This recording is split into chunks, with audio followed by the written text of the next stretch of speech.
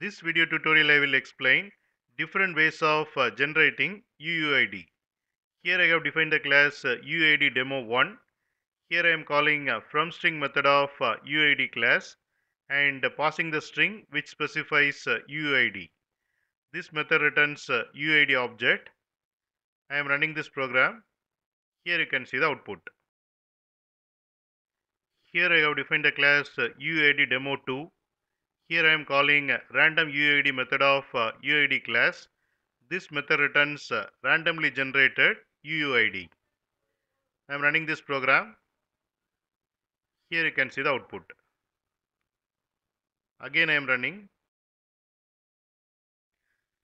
Here I have defined the class uh, UUID demo 3.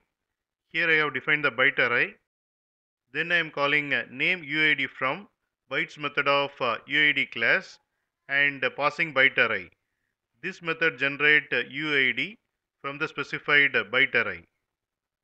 I am running this program. Here you can see the output.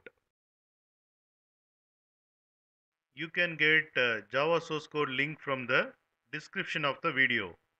In mobile, to see the description, click on uh, this icon. It will expand like this and here you can see the description. It contains uh, Java source code links. Click on these links to get the Java source code.